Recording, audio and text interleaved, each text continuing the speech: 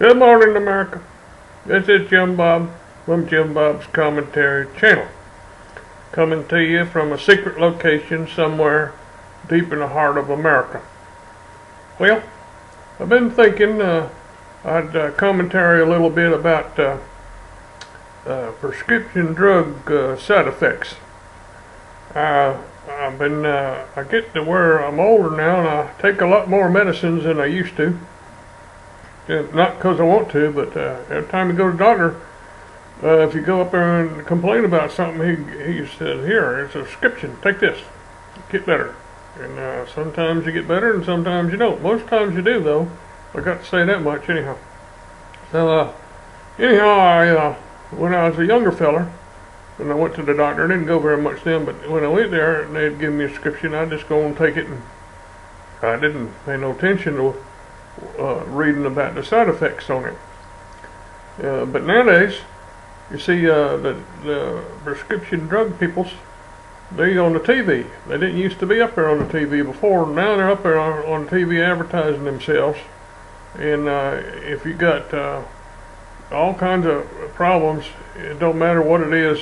Um, if you're constipated, they got some commercials on that. And if you're uh, uh, if you uh, got erectile dysfunctions, you got the commercials on that. I know we've done some series on that one already. And um, it don't matter what kind of problem you got. You got the heart problems or whatever. They got the commercials for it.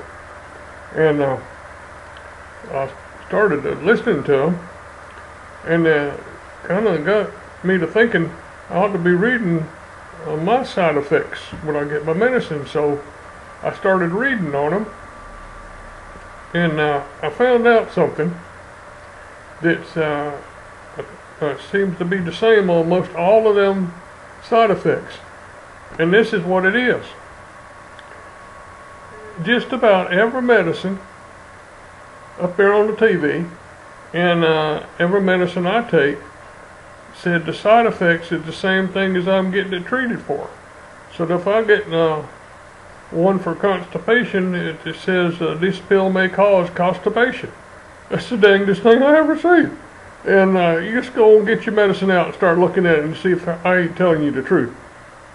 And uh, and uh, and it also says on there, uh, don't take this medicine if you're allergic to it.